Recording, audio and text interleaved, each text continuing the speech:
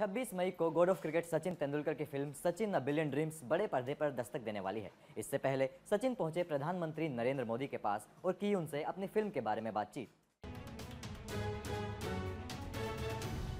खेल हमारी ज़िंदगी का अहम हिस्सा है और ये बात खुद प्रधानमंत्री नरेंद्र मोदी भी कहते हैं। एक बार फिर प्रधानमंत्री नरेंद्र मोदी ने ये बात कही, जब क्रिकेट के भगवान सचिन तेंदुलकर उनसे मिलने पहुँचे।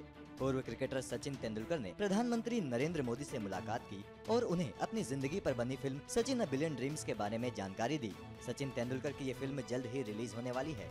सचिन ने प्रधानमंत्री आवास पर मोदी से मुलाकात की और ट्वीट किया। माननीय प्रधानमंत्री मोदी जी से मुलाकात की और film Sachin a billion dreams के बारे में बताया। सचिन ने दूसरे ट्वीट में कहा, शुक्रिया प्रधानमंत्री जी, आपके प्रेरणादायक मैसेज के लिए, जो खेले, वही खिले, इससे बेहतर कुछ भी नहीं हो सकता। इस मौके पर उनके साथ उनकी वाइफ अंजलि तेंदुलकर और मूवी के प्रोड्यूसर रवि भागचंद भी थे।